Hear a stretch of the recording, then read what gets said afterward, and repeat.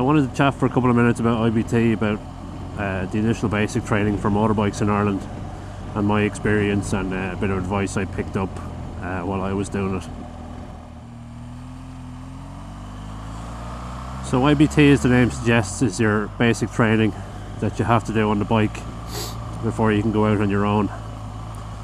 Uh, obviously, you can't be accompanied all the time while you're a learner on a bike, so they uh, give you two full days of training. Uh, and by give you, I mean make you pay for. so I covered the sort of costs in the driver's license uh, video, but uh, I'll talk about what the IBT is like and what it involves and all that sort of stuff. And if you're nervous about it, um, hopefully having it explained by somebody who did it recently uh, will help you out a bit.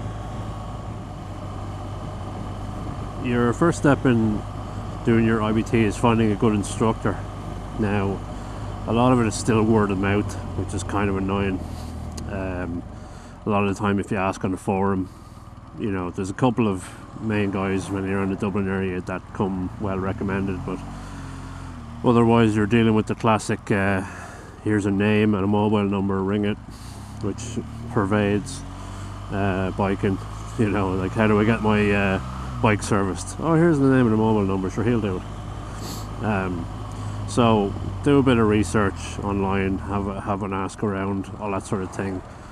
Um, I'm in the Kildare area and I went to the Leinster Driving Campus, which are fairly well put together. They have a good web page and they have a good uh, off off road course which I, I saw going past a good few times, so I got lucky, I think. But uh, yeah, do your research and stuff. I haven't really heard horror stories. I mean, all the guys are certified and stuff like that, but it's down to the advice and quality of the training that they're going to give you.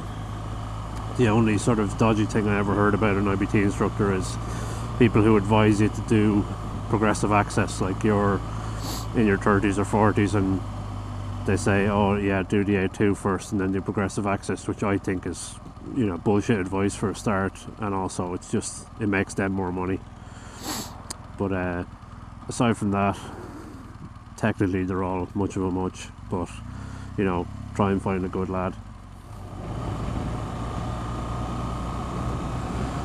So as for the training itself, um, the way I approached it was as a bit of crack. Like, it's not technically, I think you can, you know, not get the certificate, but uh, from talking to the instructors, it's stuff like you want to be crashing the bike, and, and a couple of times before they'll before they'll say, listen, uh, maybe it isn't for you or that sort of thing, because there really isn't, isn't practice you can do for it.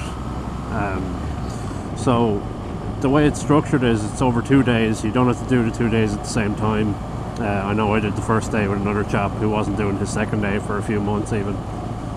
Um, the first day and the first half of the first day will be sort of theory in a classroom or in a porta cabin, as in my case, um, where they'll run you through some of the stuff around road positioning and all that sort of thing, and road crafting, etc.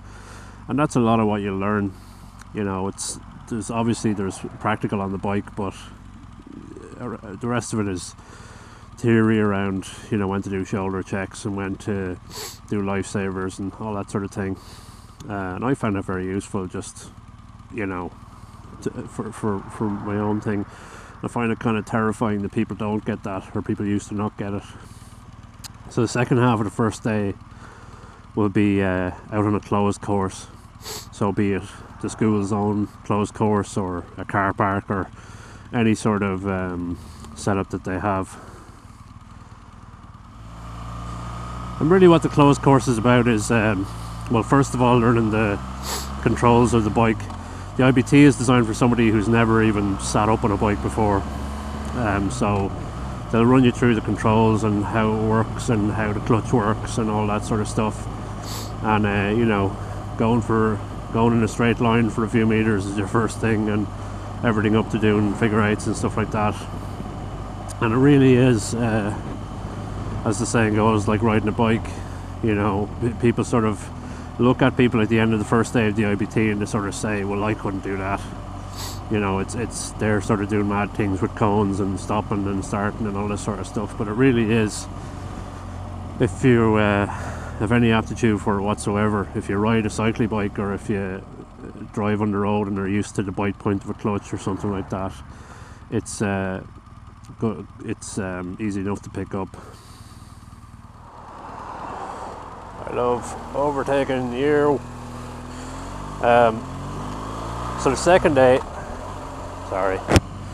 So the second day of the IBT is mainly up on the bike.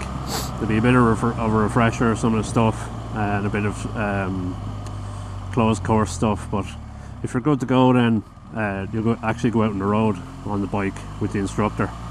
Now the setups may vary, but in my case, the instructor was on a radio, um, which uh, and he was just riding there behind you, and it's um, can be a bit daunting. Let's put it that way. It really is if you put in the practice on the first day and you're um, able to do that. The way I um, thought about it is, it's a bit of crack.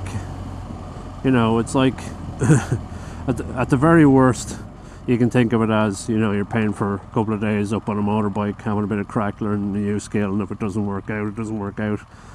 But for 99% of people, it does work out, and there's really nothing to be nervous about or apprehensive about. You know, you can be apprehensive all you like, and actually, I can't tell you not to be nervous about things, but um, coming from somebody who's a bit of a nervous Nelly in general, um, I, I found it I found it great to just get up on the bike for a couple of days. I think it actually helped me, you know, to have gotten some formal training and to have. Um, I think if, if I was under a previous licensing regime where it's basically okay, now you buy a bike and you bring it out on the road and you give it a go, I, I actually probably would have been less likely to do that. So um, that's the short intro to the IBT and what it's what it's like and how it is. Um,